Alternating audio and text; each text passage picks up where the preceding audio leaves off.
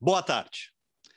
O Egrégio Tribunal Pleno reúne-se neste momento em sessão solene híbrida sobre a presidência do excelentíssimo desembargador do Trabalho, José Ernesto Manzi, presidente, para posse do excelentíssimo juiz do Trabalho, Narbal Antônio de Mendonça Filete, nomeado mediante promoção pelo critério de merecimento ao cargo de desembargador do Tribunal Regional do Trabalho da 12ª Região, na vaga decorrente da aposentadoria da excelentíssima desembargadora do Trabalho, Gisele Pereira Alexandrino.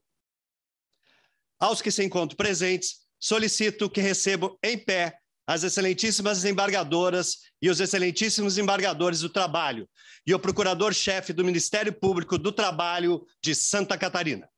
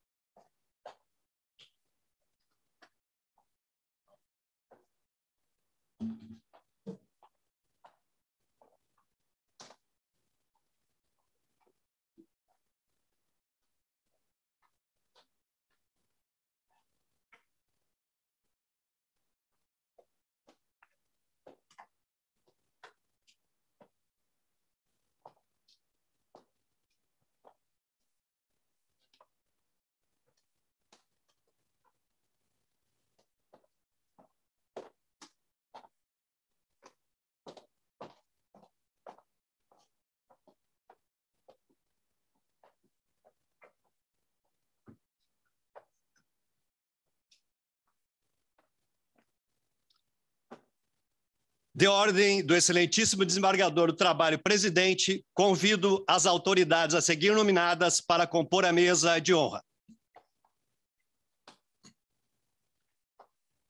Excelentíssimo ministro do Tribunal Superior do Trabalho, doutor Alexandre Ramos, neste ato representando o presidente do Tribunal Superior do Trabalho.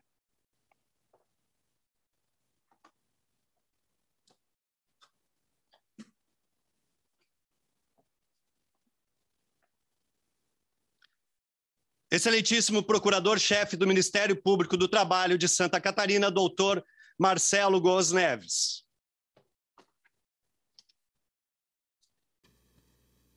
Excelentíssima Presidente da Ordem dos Advogados do Brasil, Seccional de Santa Catarina, doutora Cláudia da Silva Prudêncio.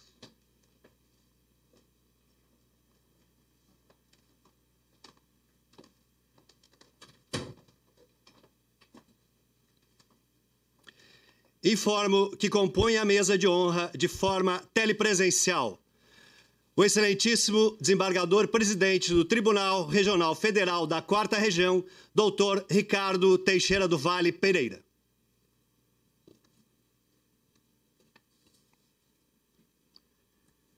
Registro ainda que as autoridades presentes nestas solenidades serão nominadas após o pronunciamento do excelentíssimo doutor Narbal Antônio de Mendonça Filete.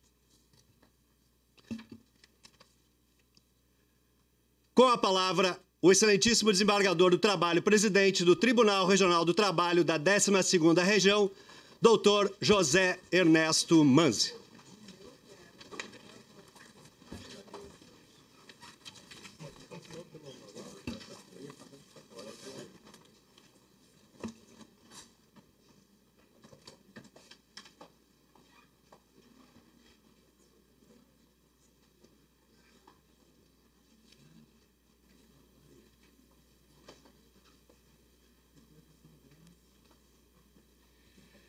Boa tarde a todos e todas. Declaro aberta a sessão solene destinada à posse do excelentíssimo juiz do trabalho, Narbal Antônio de Mendonça Filete, no cargo de desembargador do trabalho no Tribunal Regional do Trabalho da 12ª Região.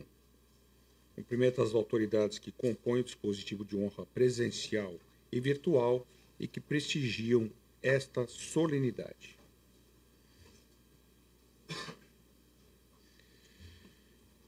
Convido o excelentíssimo desembargador do trabalho, Graço Ricardo Barbosa Petroni, para conduzir ao recinto o excelentíssimo juiz do trabalho, Narbal Antônio de Mendonça Filete.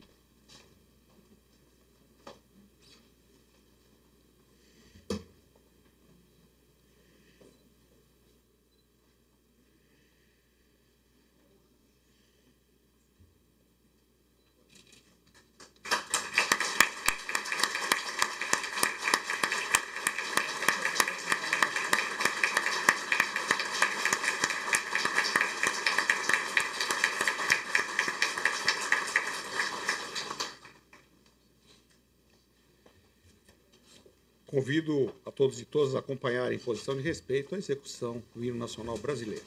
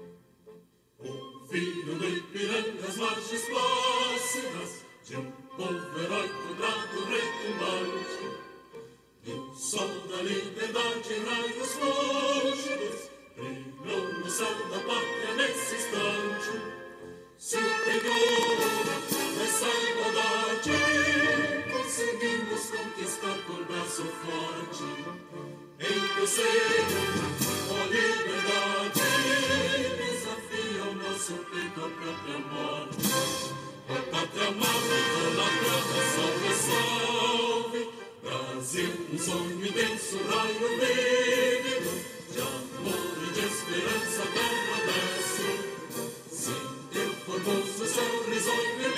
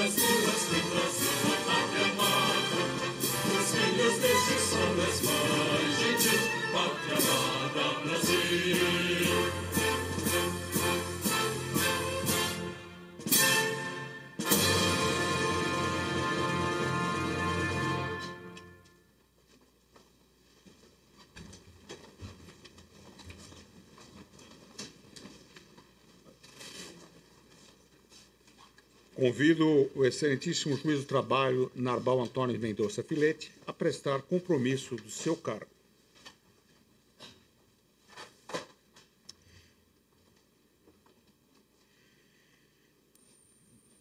Prometo desempenhar bem e fielmente os deveres do cargo de desembargador do Tribunal Regional do Trabalho da 12ª Região, cumprindo e fazendo cumprir a Constituição e as leis da República.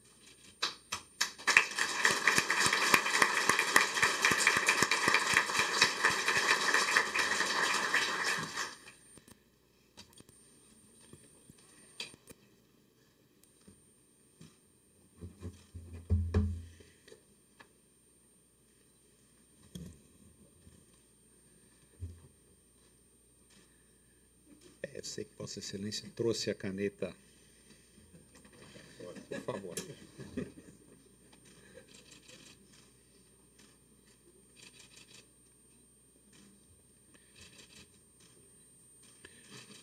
Solicito ao senhor secretário-geral que proceda à leitura do termo de compromisso e posse.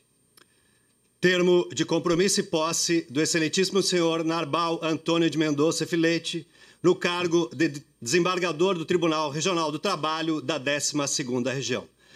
Aos seis dias do mês de maio do ano de 2022, na sala de sessões do Tribunal Regional do Trabalho da 12ª Região, cito, na rua Esteves Júnior, número 395, nesta cidade de Florianópolis, estado de Santa Catarina, perante o excelentíssimo desembargador presidente José Ernesto Manzi, o excelentíssimo senhor Narbal Antônio de Mendonça Filete, juiz titular da segunda vara do trabalho de Tubarão, toma posse e entra em exercício no cargo de desembargador do Tribunal Regional do Trabalho da 12ª Região, promovido por merecimento, mediante decreto de 11 de abril de 2022, publicado no Diário Oficial da União em 12 de abril de 2022. Seção 2, a página 1, em vaga decorrente da aposentadoria da excelentíssima desembargadora Gisele Pereira Alexandrino.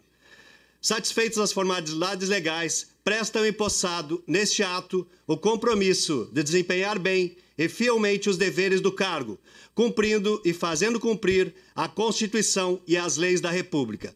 E para constar, Vera Lúcia Junques, lotada no Serviço de Desenvolvimento de Pessoas, digitou o presente termo, que vai sobrescrito por Roberto Carlos de Almeida, secretário-geral judiciário, e assinado pelo excelentíssimo desembargador presidente e pelo empossado.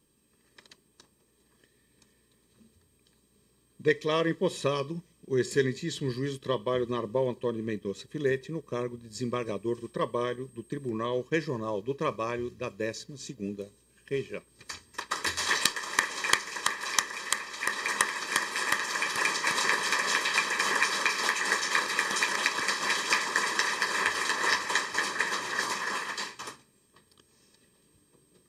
Neste momento, cumprindo o disposto nos parágrafos 1 e 2 do artigo 2 da Resolução Administrativa número 58/2003, o excelentíssimo desembargador do Trabalho, José Ernesto Manzi, presidente, entrega a faixa e a insígnia da Ordem Catarinense do Mérito Judiciário do Trabalho ao excelentíssimo desembargador do Trabalho, Narbal Antônio de Mendonça Filete, que serão trazidas pelos seus filhos, Maria Eduarda Filete e Otávio Filete.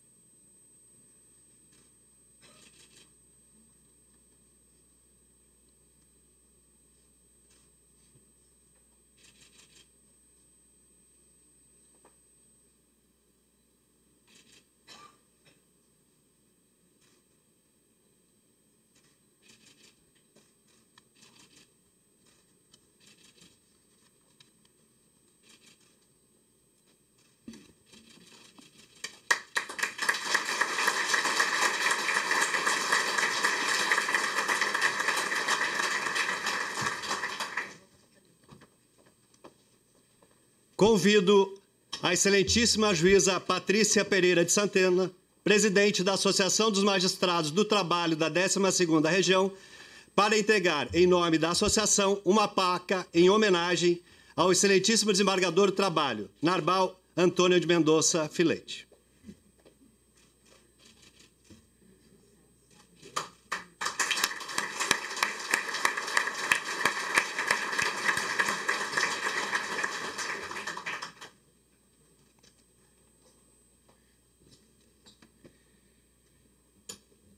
Convido a excelentíssima desembargadora do Trabalho, Tereza Regina Kotoski, a conduzir ao excelentíssimo desembargador do Trabalho, Narbal Antônio Mendonça Filete, à sua cadeira.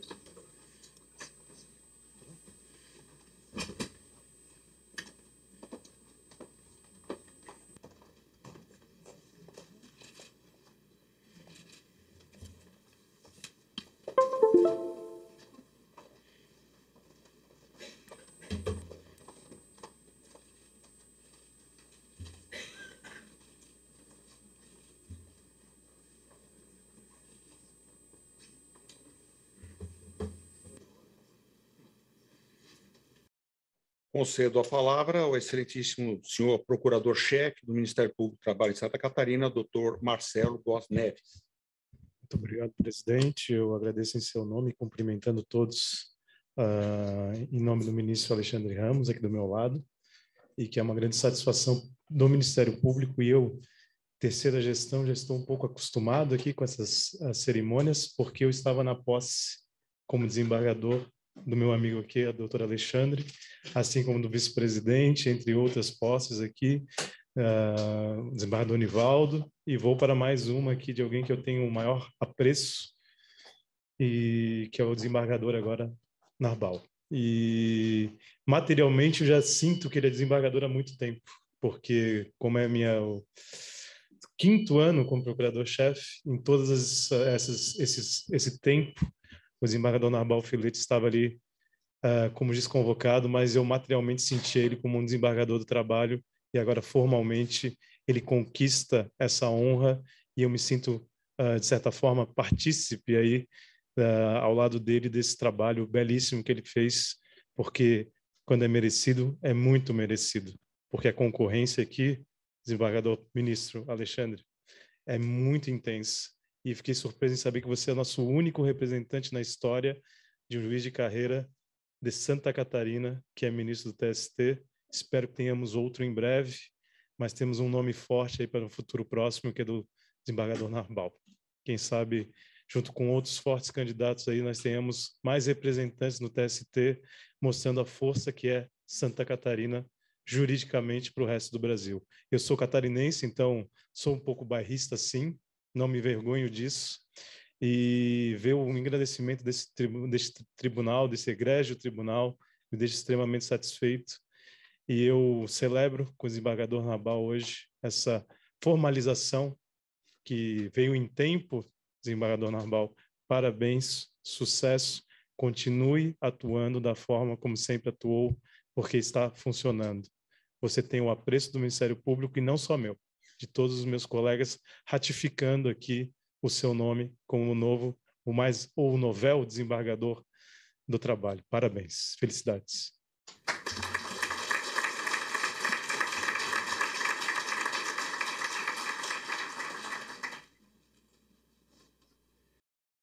Concedo a palavra à excelentíssima presidente da Ordem dos Advogados do Brasil, seccional de Santa Catarina, doutora Cláudia da Silva Prudêncio. Obrigada.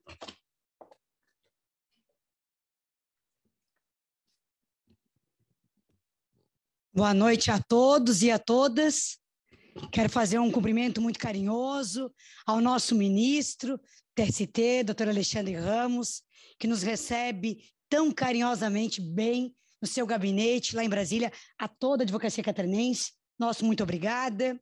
Quero fazer um cumprimento também muito carinhoso ao nosso presidente, do Tribunal Regional do Trabalho, 12ª Região, doutor José Ernesto Manzi, que está sendo um grande parceiro e um amigo da advocacia catarinense. Cumprimentar aqui o nosso procurador-geral, cumprimentar todos os senhores e senhoras desembargadores, cumprimentar os nossos amigos, nossos familiares. Cumprimento especial ao nosso hoje empossado, doutor Narbal Filete, e cumprimentar a advocacia catarinense, na pessoa do meu irmão de ordem, nosso vice-presidente nacional do Conselho Federal, doutor Rafael de Assis Horn. Bom, hoje, além de saudar e parabenizar o hoje empossado desembargador Narbal Antônio Mendonça Flete por sua posse no Tribunal Regional do Trabalho da 12ª Região, uso dessa oportunidade para reafirmar nossa parceria da OAB de Santa Catarina com este tribunal. O desembargador Narbal é merecedor da promoção, que tem destacada atuação, especialmente no sul de Santa Catarina, com uma trajetória de mais de três décadas na Justiça do Trabalho. Doutor Narbal, além de um grande amigo, professor, esposo, pai, filho, magistrado, é um ser incrível de alma leve e um amigo da advocacia catarinense. Não há dúvidas, doutor Narbal, que a sua experiência vem para aperfeiçoar a atuação no TRT e colaborar na entrega da prestação jurisdicional à nossa sociedade. ganhamos todos nós. Ressalta ainda que a posse do doutor Narbal é motivo de alegria e muito orgulho para todos nós, da OAB Seccional de Santa Catarina. O desembargador é irmão de um dos nossos diretores do sistema OAB, o meu grande amigo, irmão de ordem e de alma, doutor Erivelto Filete, que hoje está na luta pelo fortalecimento da advocacia como tesoureiro da nossa Caixa de Assistência dos Advogados de Santa Catarina. Aproveito desta ocasião para reafirmar a excelente interlocução entre a OAB de Santa Catarina e o Tribunal Regional do Trabalho.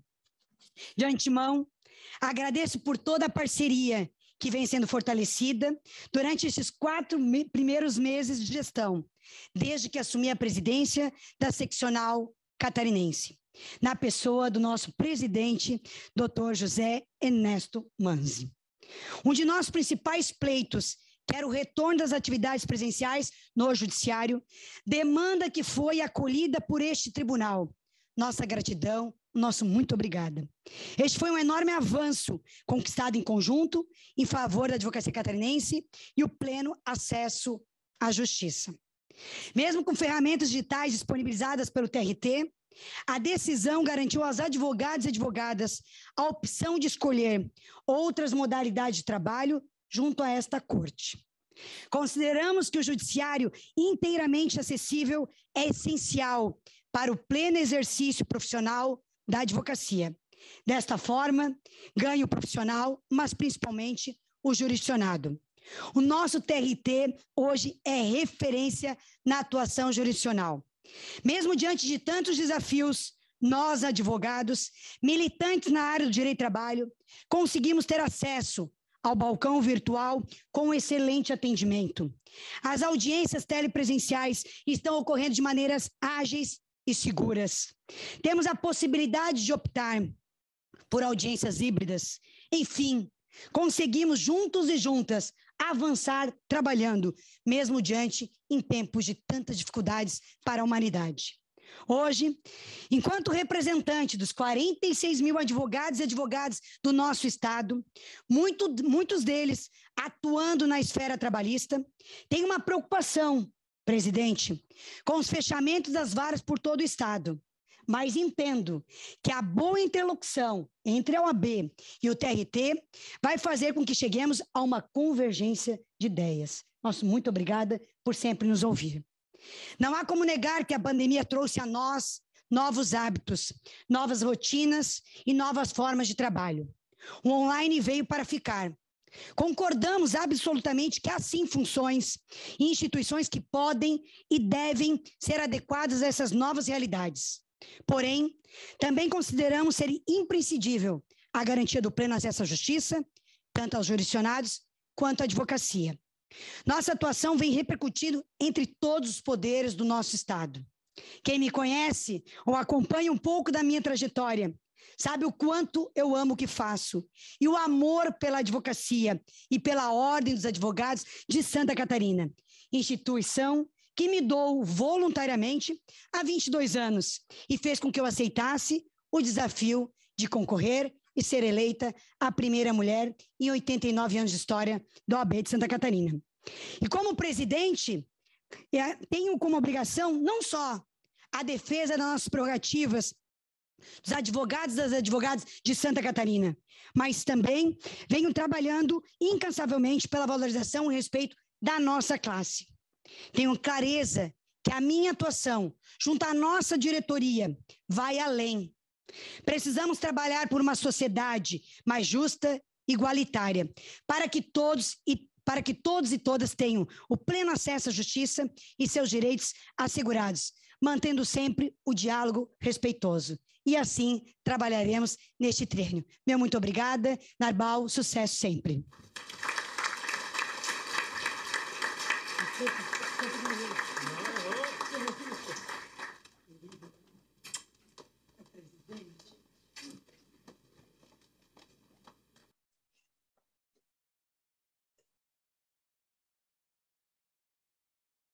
concedo a palavra à excelentíssima desembargadora do trabalho, Lígia Maria Teixeira Gouveia, para falar em nome do tribunal.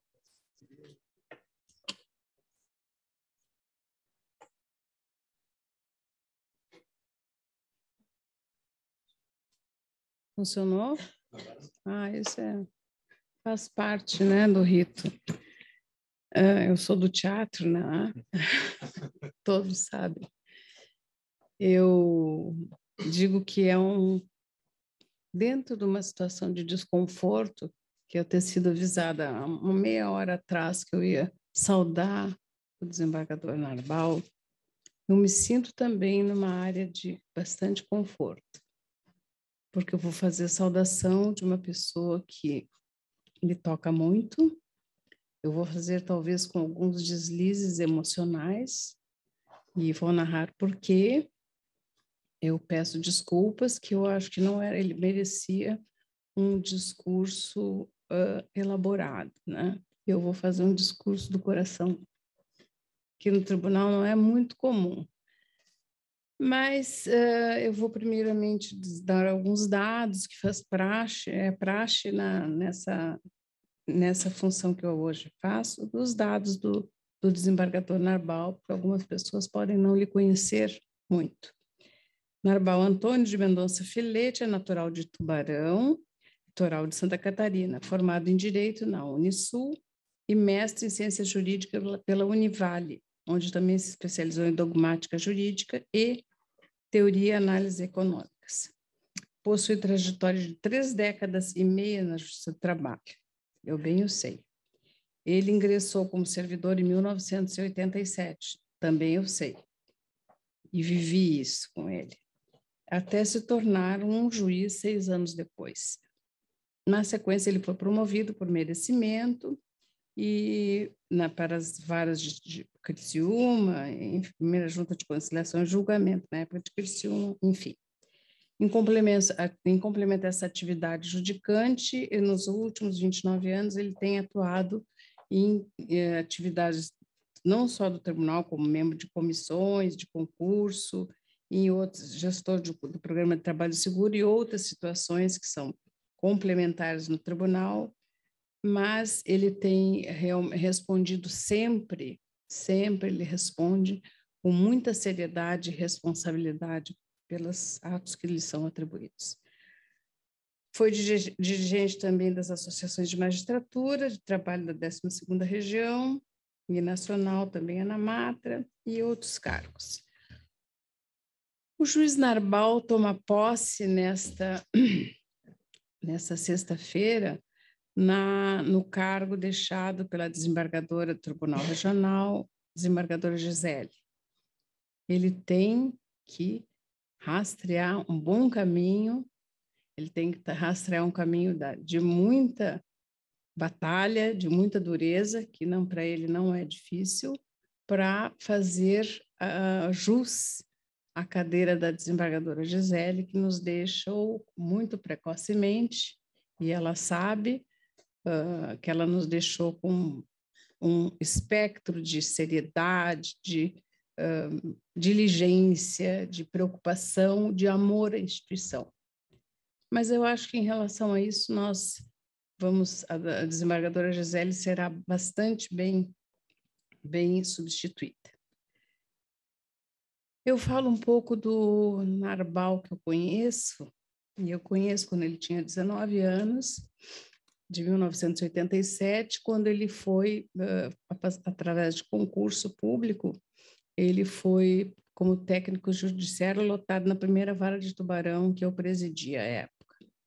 O doutor Marcelo está rindo porque ele também me deu essa palavra eu, numa, numa cerimônia de posse dele e que eu também não estava preparada, não é? Então, só que pelo doutor Marcelo eu tinha menos conhecimento dele, eu conhecia mas foi bastante agradável de qualquer maneira.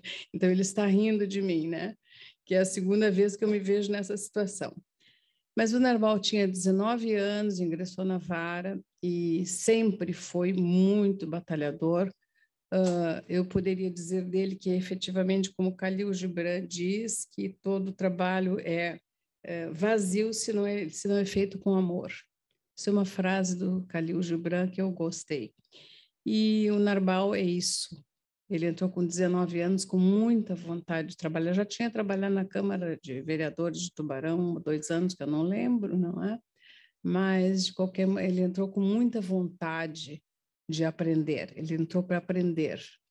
Eu sempre tenho muita hum, apreciação pelas pessoas que querem aprender sempre. Ele era muito jovem, queria aprender. Eu não sou tão, mas eu gosto de aprender. Estou aprendendo hoje, né? Aprendendo hoje que a gente pode falar num tribunal para colegas eméritos, para ministros do Tribunal Superior do Trabalho, pra, enfim, uh, de improviso, talvez sem dizer muita uh, bobagem. Mas o, o desembargador Narbal tem um traço extremamente importante e logo em seguida, alguns anos depois, um, dois anos, uh, ele foi guindado por merecimento a meu assessor. E aí eu tive um cravo no pé, né? Porque todos os dias eu trabalhava em casa de manhã, fazia as minhas sentenças de manhã, e antes dele ir para a FAR, ele passava lá, junta de conciliação, para pegar as minhas sentenças, as minhas sentenças do dia, né? E sempre ele, ele ia lá buscar e eu tinha que estar com, e ele cuidava também dos, dos meus prazos, assim, de uma maneira bem carrasca, né? Uma vez eu tive um processo, que ele deve saber que é a nossa história, um processo muito difícil, em Tubarão, muito difícil. O desembargador Manzi era, era juiz lá, meu substituto na época, substituto da vara. E esse processo era muito difícil e doloroso, e eu sabia, o, o, o, o juiz Manzi se declarou impedido, suspeito por algum motivo, e eu, esse processo, eu, tive, eu tinha muita coisa que eu sabia de fora do processo, tendo um vínculo de emprego muito complicado, e, e foi daqueles que eu sentei e pensava assim, esse é aquele processo que a gente tem vontade de despachar, exploda-se, né? Exploda-se, porque realmente incinere-se, é o processo da incineração muito complicado. E ele ficou lá com a minha continha, e aí de vez em quando ele chegava, e aquele processo, doutora? Sentado na minha escrivaninha, um dia ele sai. E aí ele, de novo, outra vez ele voltar, doutor, aquele processo, disse, olha, esse processo não vai ter prazo, eu não vou, eu tenho que sentar e pensar e me deslindar de muitas situações que eu conheço. Enfim, foi um processo que foi histórico porque ele não me, ele não deixava eu, eu com aquela toda aquela ansiedade de fazer o processo, mas eu, eu tinha dificuldade mesmo de, de, enfrentar o assunto e ele me cobrando. Então ele é desse tipo, ele veio para me carrasquear, né? De brinquedo, né, Narbal? Era uma, uma brincadeira. Mas o que eu posso dizer é que ele vem de uma família de muito trabalho, família a dona Eva, professora, o seu Narbal, que eu conheci até pouco tempo, que ele nos deixou há pouco tempo, uma família toda de irmãos, cinco irmãos, de, de muita luta em relação ao trabalho, então ele aprendeu muito cedo que era trabalho e se vocacionou para ser juiz. Ele é uma vocação. Eu tenho o compromisso de dizer nesse momento que ele teve uma vocação. Ele ele passou a ser meu assessor e ele tinha sempre essa eu vou estudar, eu vou ser juiz e realmente foi meu aluno na universidade. Eu acho que não foi em direito de trabalho, acho que deve ter sido em introdução, mas foi meu aluno na universidade e sempre competente, sempre preocupado. Tenho o apoio dessa família maravilhosa, da Sandra, que desde aquela época já, já estavam de namoro, né, Sandra? Muito tempo já, alguns anos. Dois filhos também que ele tá, cria com muita, muito, muito amor, muito afeto. Ele ama esses filhos. Então, é uma família que, uh, na, no, no passado, foi um berço realmente que ele teve de, de aprender o valor do trabalho e de de batalhar por isso e ele tem uma família de grande apoio para ele que eu entendo que é muito é muito importante também, principalmente numa função da magistratura, que é uma função indelevelmente, permanentemente, uma função de empenho, de compromisso. Nós temos a, quem ingressa na magistratura com compromisso tem sempre o meu maior respeito.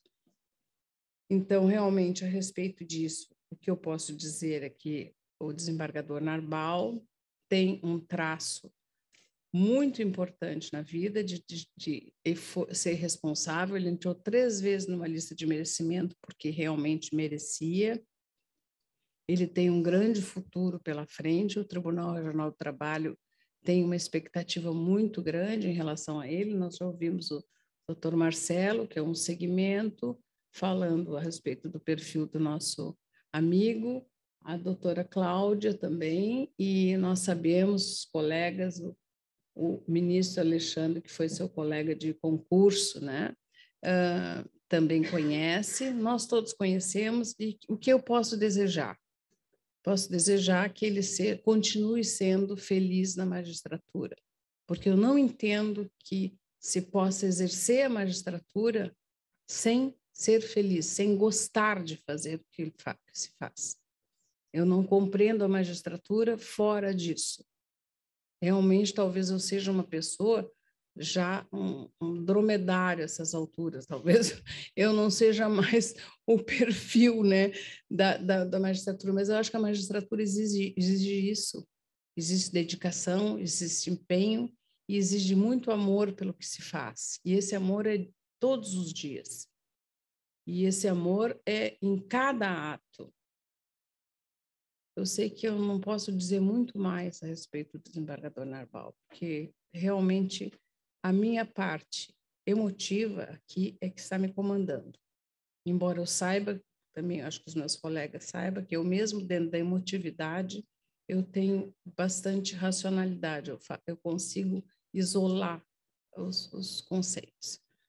Então, o que eu desejo para o desembargador Arbal, eu gostaria que ele tivesse tido um discurso mais preparado, mais uh, elaborado, mas realmente o que eu pude foi fazer um discurso do coração, aquela pessoa que acredita na outra, aquela pessoa que sempre estará aqui, eu sempre estarei aqui para uh, que eu não preciso né, dar, dar força para o desembargador Narbal, mas sabendo que ele vai ser uma força para esse tribunal, ele vai ser um empenho para esse tribunal e que nós estamos realmente todos aqui em festa no dia de hoje. Obrigada.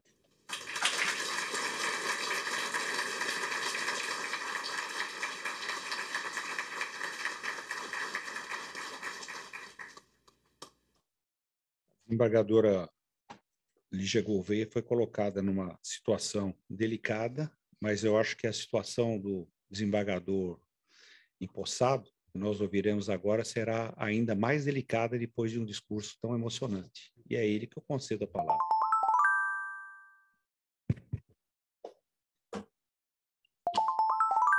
Excelentíssimo senhor desembargador José Ernesto Manzi, muito digno presidente do Tribunal Regional do Trabalho da 12ª Região, excelentíssimo senhor Alexandre Luiz Ramos, muito digno ministro do Tribunal Superior do Trabalho, meu colega de concurso, excelentíssimo senhor procurador Marcelo Góes Neves, muito digno procurador regional do Trabalho da 12ª Região, Excelentíssima senhora Cláudia da Silva Prudêncio, muito digna presidente da Ordem dos Advogados do Brasil, seção de Santa Catarina, e em nome de vossas excelências eu cumprimento as autoridades presentes nesta sessão solene.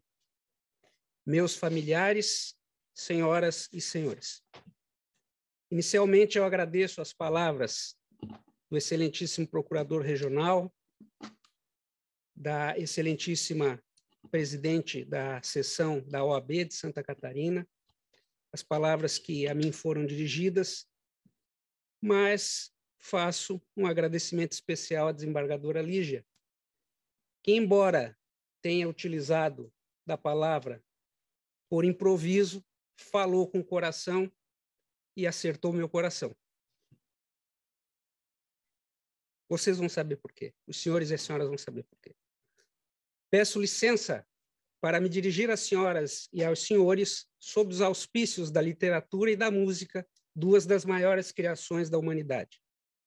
6 de maio de 2022. Há 35 anos, dois meses e oito dias, tomei posse como servidor do Tribunal Regional do Trabalho da 12ª Região no cargo de auxiliar judiciário.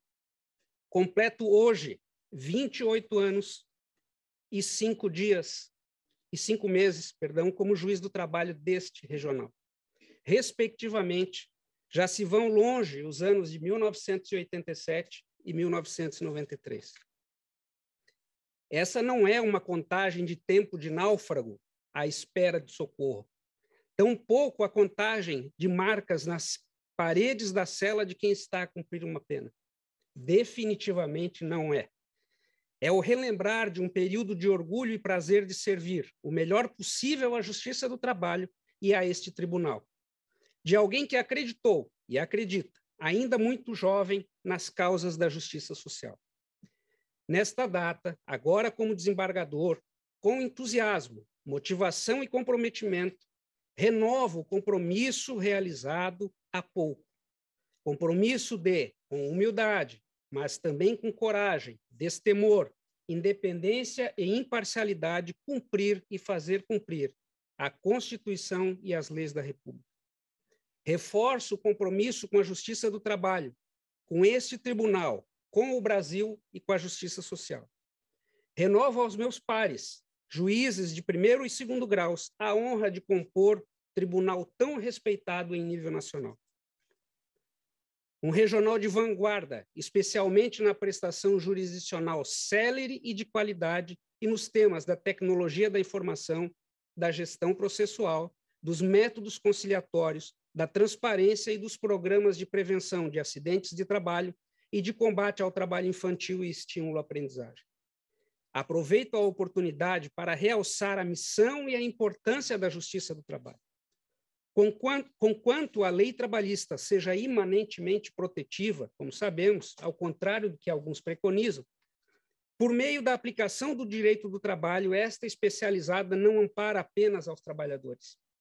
Assiste também aqueles que contratam o trabalho sob suas várias espécies, na medida em que estabiliza as relações laborais e mantém a paz na sociedade.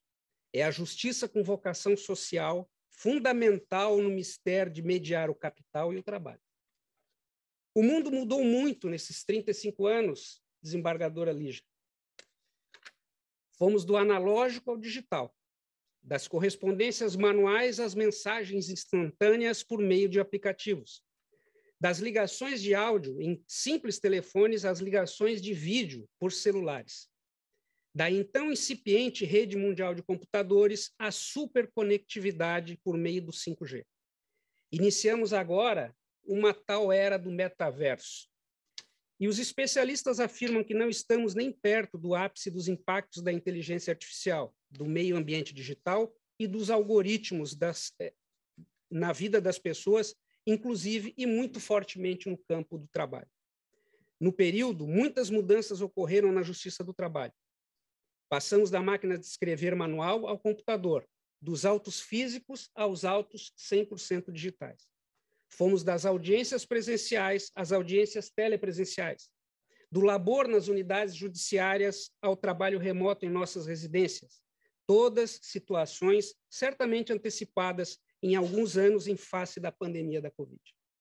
No campo legislativo, várias foram as mudanças, algumas extensas e profundas, outras não porém todas com impacto nas searas dos direitos material e instrumental.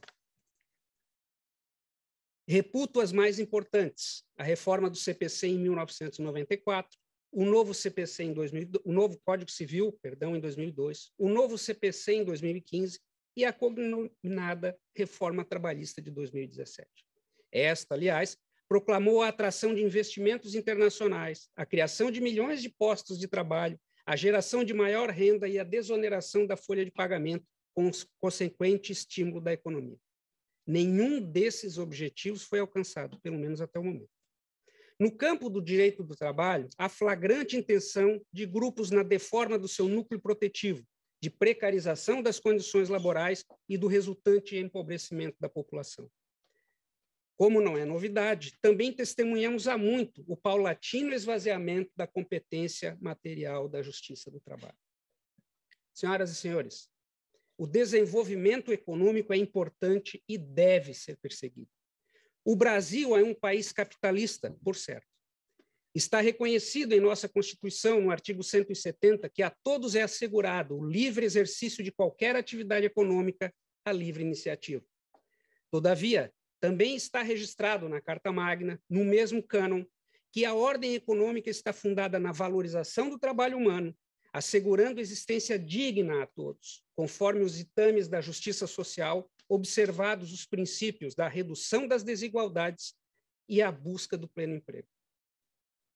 E não podemos descurar do disposto no artigo 3 que assenta ser objetivo fundamental da República construir uma sociedade livre, justa e solidária, com desenvolvimento nacional, erradicando a pobreza e a marginalização, reduzindo as desigualdades sociais e regionais e promovendo o bem de todos, sem qualquer preconceito e forma de discriminação. Além da economia forte, da importância indispensável da manutenção das instituições e da democracia, será importante a realocação do emprego como ponto central das políticas públicas. Desenvolvimento econômico sem desenvolvimento eh, humano, sem melhora das condições de vida das pessoas, faz só postergar problemas sociais estruturais para 5, 10, 20, 30 anos. O índice de desenvolvimento humano forte é economia forte. É preciso, como disse Galeano em seu poema Os Ninguéms, que as pessoas deixem de ser apenas recursos humanos para serem seres humanos. Nesses 35 anos, houve fluxos e influxos no campo político. Apesar de muitos avanços, vivemos tempos obscuros e de retrocessos no planeta inteiro. Negação da ciência, banalização do sofrimento, desconsideração da morte, falta de empatia, sectarismo, intolerância e preconceitos de todos os matizes, polarização política e disseminação de notícias falsas. Não será em vão, todavia, ao menos em nosso país, que cada um contribua para o necessário avanço nos sítios político, institucional e econômico e das relações humanas e do trabalho. Disse-me um amigo certa feita que já não tenho idade para ser ingênuo, mas não me parece difícil fazer deste um lugar melhor com justiça para todos. Dom Quixote o cavaleiro da triste figura da obra de Cervantes, ponderou a Sancho Panza, seu fiel escudeiro. Mudar o mundo, meu amigo Sancho, não é loucura, não é utopia, é justiça. Essa tarefa cabe especialmente a nós, que exercemos posição de destaque na sociedade. Não pretendo ser ingênuo e romântico, mas basta um pouco de amor, um pouco de empatia, que é a palavra da moda. Como diz a, can a canção Closer to the Heart, da banda canadense Rush, em homenagem ao meu filho. E os homens em posições de destaque devem ser os pioneiros a mudar uma nova realidade, mais próxima do coração, bem mais próxima do coração. Tenho certo que a Justiça do Trabalho e todos os seus integrantes não se furtarão a enfrentar os desafios vindouros da contemporaneidade, da revolução digital e das novas configurações do trabalho, assegurando os direitos fundamentais sociais a quem os possui, contribuindo para os desenvolvimentos humano e econômico do país. Mas não cansarei mais as senhoras e os senhores com constatações desse jaez. Conquanto eu não renuncie às minhas convicções políticas, não políticas partidárias, por óbvio, esta fala não é um manifesto político, não é um ato de proselitismo, Trata-se tão somente da constatação de conjunturas passadas e presentes. 35 anos nessa justiça, mais de 28 anos como magistrado. Os dissabores da carreira, os dissabores em face da carreira, ficaram no pretérito. Permeado por satisfações pessoais e profissionais, cada santo dia valeu a pena. Cada santo dia valerá a pena. 6 de maio de 2022 é um dos dias mais felizes da minha vida. Muita gente aqui sabe disso. Não cheguei aqui sozinho, nada produzi sozinho, nada conquistei sozinho. Todo esse tempo ombreei ou fui ombreado por muitos. O catedrático português Antônio Novoa, em discurso de agradecimento em terras brasileiras, tratou do significado da gratidão em São Tomás de Aquino. No Tratado da Gratidão, Tomás de Aquino, filósofo e doutor da Igreja Católica, destacou os três níveis da gratidão: um nível superficial, um nível intermédio e um nível mais profundo. O nível superficial é aquele do reconhecimento, do reconhecimento intelectual, do nível cerebral, do nível cognitivo do reconhecimento. Assim tratam os povos de língua inglesa e alemã. O segundo nível é o nível do agradecimento, do dar graças a alguém por aquilo que esse alguém fez por nós, como falam franceses, espanhóis e italianos, por exemplo. O terceiro nível, mais profundo do agradecimento, é o plano do vínculo. É o plano que nos faz sentir conectados e comprometidos com o outro. Segundo o professor Lusitano, somente na língua portuguesa é que se agradece no terceiro nível, o nível mais profundo do Tratado da Gratidão. Dizemos obrigado. E obrigado quer dizer isso mesmo. Eu fico obrigado. Fico obrigado perante você. Fico comprometido com você. Né, na mesma esteira, cito a poesia de Cris Pizzimente, que muitos atribuem autoria a uma das maiores poetisas do Brasil, Cora Coralina. Diz a autora: Sou feita de retalhos, pedacinhos coloridos de cada vida que passa pela minha e que vou costurando na alma. Nem sempre bonitos, nem sempre felizes, mas me acrescentam e me fazem ser quem eu sou. Em cada encontro, em cada contato, vou ficando maior. Em cada retalho, uma vida, uma lição, um carinho, uma saudade, que me tornam mais pessoa, mais humana, mais completa. E penso que é assim mesmo que a vida se faz, de pedaços, pedaços de outras gentes que vão se tornando parte da gente também. É a melhor e a melhor parte é que nunca estaremos prontos, finalizados. Que eu também possa deixar pedacinhos de mim pelos caminhos e que eles possam ser parte das suas histórias. Diz a autora. E aí termina a autora e que assim, de retalho em retalho, possamos nos tornar um dia um imenso bordado de nós. Neste momento, faço uma ode à gratidão, para agradecer a todos os retalhos da minha vida, no terceiro nível preconizado por São Tomás de Aquino. Agradeço aos colegas de magistério e aos meus alunos da graduação e da pós-graduação por me fazerem estudar ainda mais e me manter atualizado. Agradeço às senhoras e aos senhores advogados que atuaram comigo nesses anos todos. E aqui aponto o nome do saudoso advogado Eduardo Luiz Mussi, causídico alentado e combatível, de gentileza e cultura ímpares. Agradeço aos trabalhadores e empregadores do Brasil, especialmente os de nossa bela e Santa Catarina. Eles são os destinatários do nosso trabalho. Agradeço a todos os empregados terceirizados que atuaram e atuam neste tribunal e nas unidades judiciárias, o que faço em nome de Maria Sueli Cascais de Souza, que trabalhava na segunda vara do trabalho de Tubarão. Agradeço a todos os servidores que comigo trabalharam com o desiderato de distribuição de justiça expedita e eficiente, e com eles divido a comenda da Ordem Catarinense do Mérito Judiciário do Trabalho, que me foi otorgada hoje.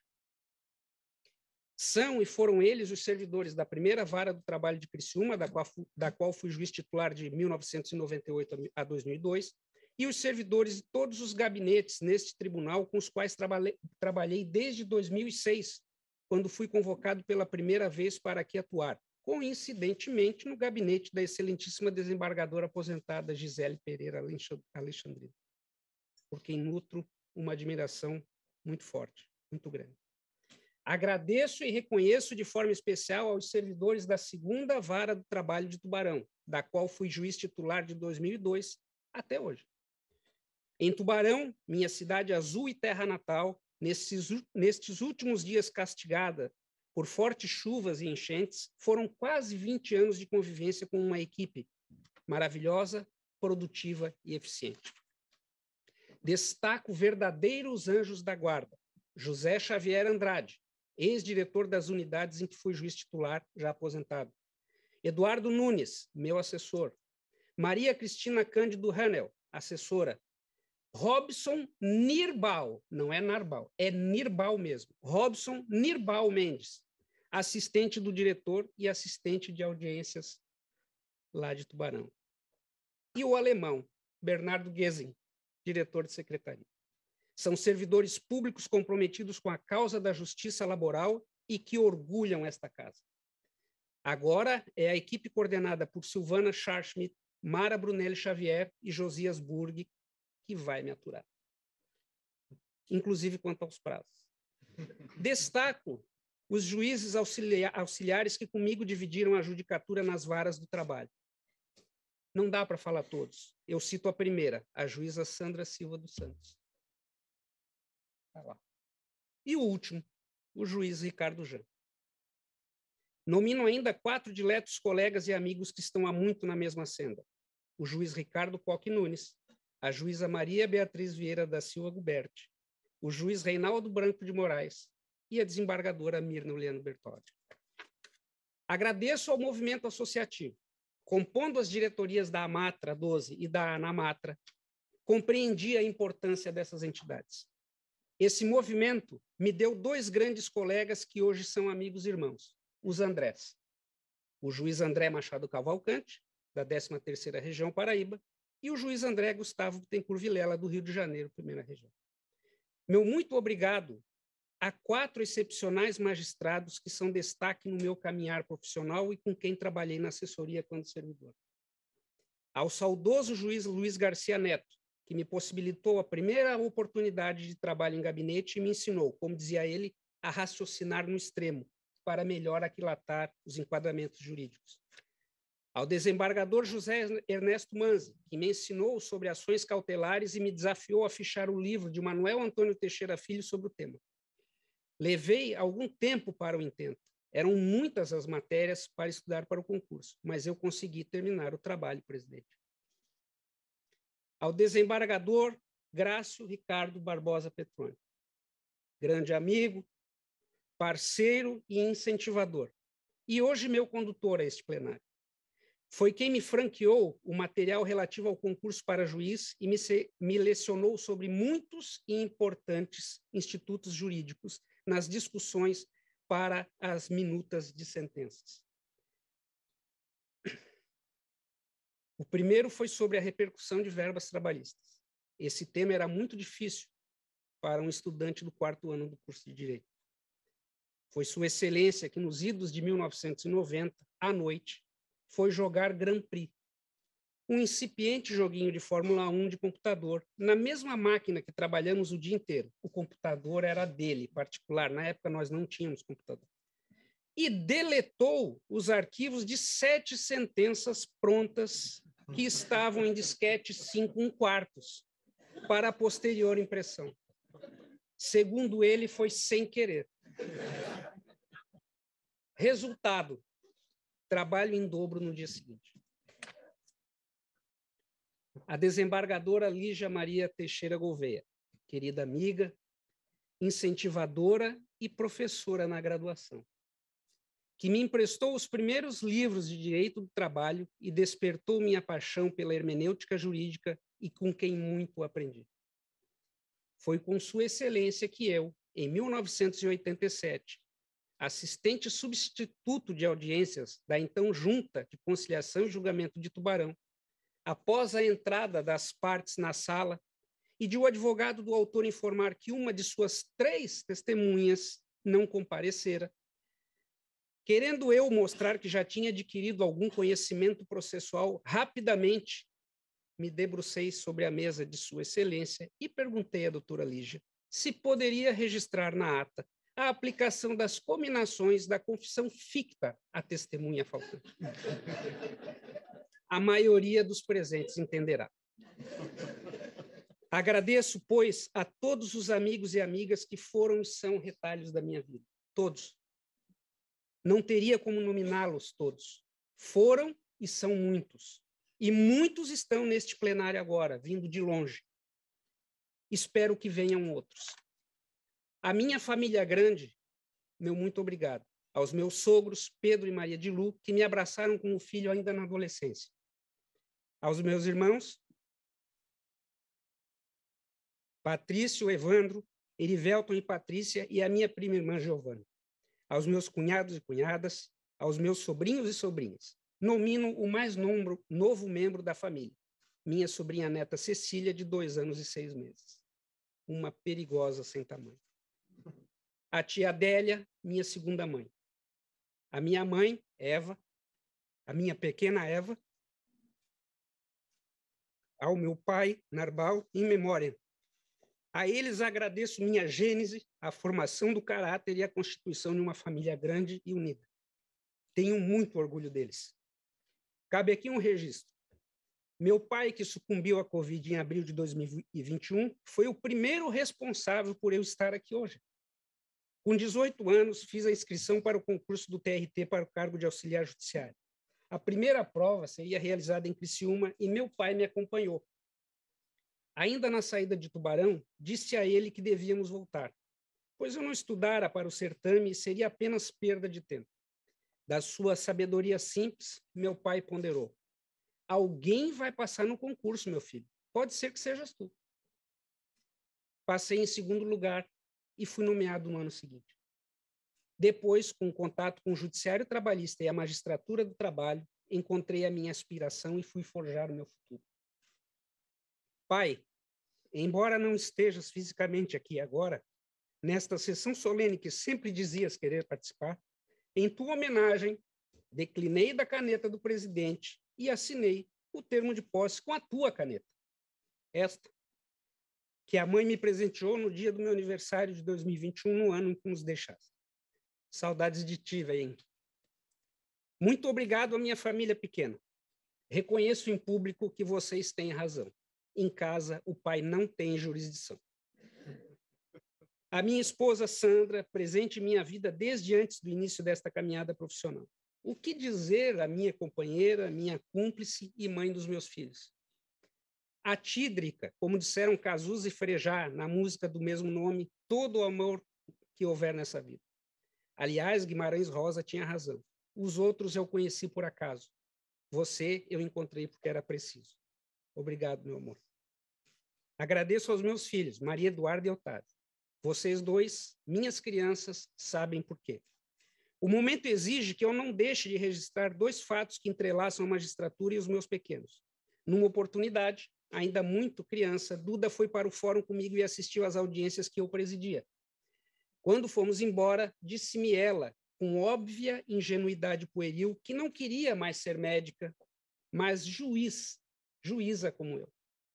Pai, é só tomar cafezinho e conversar com os amigos a tarde inteira, né?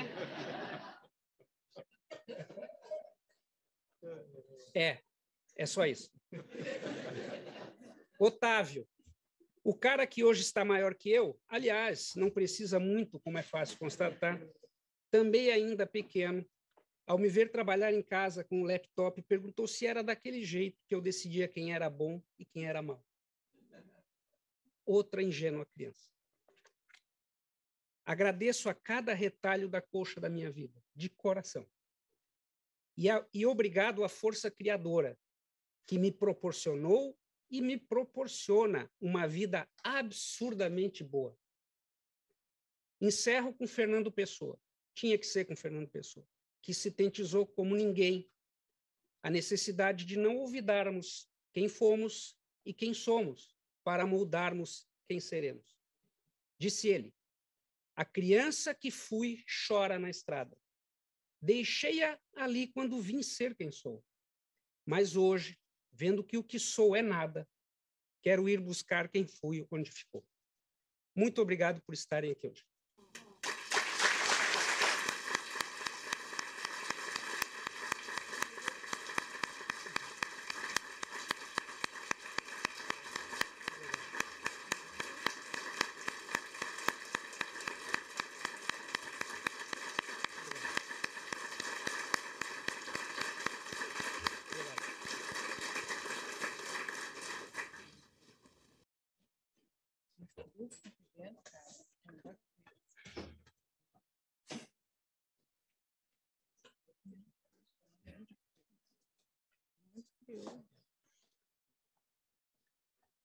convido a todos a acompanhar em posição de respeito a execução do hino de Santa Catarina.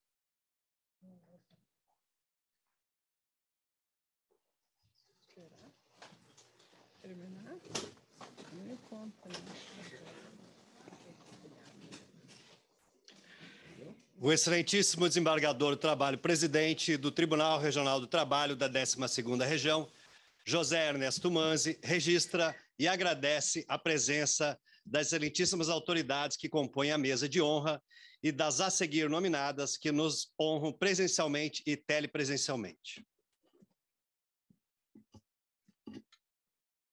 Senhor vice-presidente do Conselho Federal da OAB, doutor Rafael Assis Horn. Senhora doutora conselheira federal da OAB, Rejane Silva Chances. Senhora Procuradora do Estado, doutora Isabel Parente Mendes Gomes, neste ato representando o Procurador-Geral do Estado de Santa Catarina. Senhor Corregedor-Geral do Tribunal de Contas do Estado de Santa Catarina, conselheiro José Ney Alberto Ascori senhora coordenadora de planejamento da Superintendência do Trabalho e Emprego em Santa Catarina, Keila Revelão Ferlin, neste ato representando a superintendência. Senhor chefe da seção jurídica do 63º Batalhão de Infantaria Motorizada, segundo tenente Anderson Andrei Moreto, neste ato representando o comandante do 63º Batalhão de Infantaria Motorizada. Capitão Silvio Dalla Rosa, neste ato representando o comandante da 14ª Brigada da Infantaria Motorizada. Senhor desembargador aposentado do Tribunal de Justiça de Santa Catarina, doutor Rodrigo Colasso. Senhoras e senhores, desembargadores do Trabalho, Tribunal Regional do Trabalho de Santa Catarina, aposentados, doutora Ione Ramos, doutor Antônio Carlos Facioli Chedid, doutora Gisele Pereira Alexandrino, doutora Marta Maria Vilauba Falcão Fabre. Senhora presidente da Associação de Magistrados do Trabalho da 12ª Região, a Matra 12, doutora Patrícia Pereira de Santana, neste ato representando a Ana Matra. Senhor Procurador-Chefe da União em Santa Catarina, substituto Rafael Mendes dos Santos. Senhora Procuradora-Chefe da Procuradoria Federal em Santa Catarina, doutora Gabriela Almeida Marcon. Senhoras e senhores juízes do trabalho do Tribunal Regional do Trabalho da 12ª Região. Senhor juiz do trabalho da primeira região, doutor André Gustavo Bittencourt Vilela.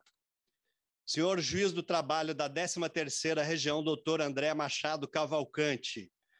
Senhores juízes do trabalho aposentados do Tribunal Regional do Trabalho da 12ª Região, doutor Sebastião Tavares Pereira, doutor Ricardo Córdoba Diniz, é, senhora Procuradora Federal da 4 Região, doutora Cristiane Cantarelli Poi, senhor Procurador de Justiça do Ministério Público do Estado de Santa Catarina, doutor Oswaldo Sioff Júnior, senhor Promotor de Justiça do Ministério Público do Estado da Paraíba, doutor João Benjamin Delgado Neto.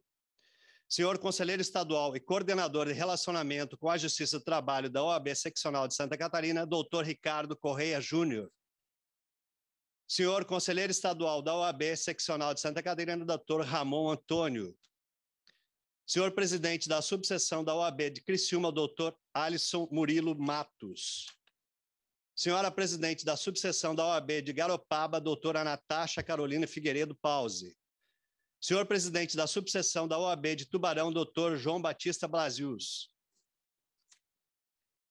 Senhor presidente honorário do Colégio de Presidente do Instituto dos Advogados do Brasil, doutor Gilberto Lopes Pereira. Senhor presidente do Instituto dos Advogados de Santa Catarina, doutor Cássio Biff. Senhora advogada trabalhista, diretora da Academia Catarinense de Letras Jurídicas, doutora Alexandra Candemil. Senhor presidente da Associação Catarinense de Advogados Trabalhistas, ACAT, doutor Fabrício Mendes dos Santos. Senhor presidente da Advocacia Trabalhista da subseção da OAB de Criciúma, doutor Rodrigo Custódio de Medeiros. Senhor presidente do município de Pescaria Braba, Davidson Souza. Senhora procuradora do município de Criciúma, doutora Raquel de Souza Felício senhoras e senhores representantes de entidades de classes, demais autoridades presentes, senhoras e senhores advogados, senhoras e senhores servidores, senhoras e senhores.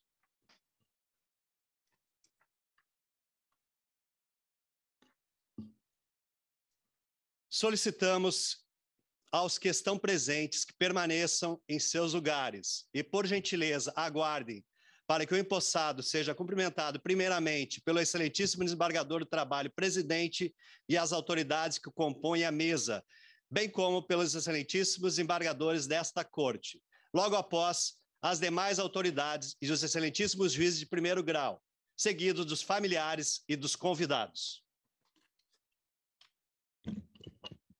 Declaro encerrada a sessão solene.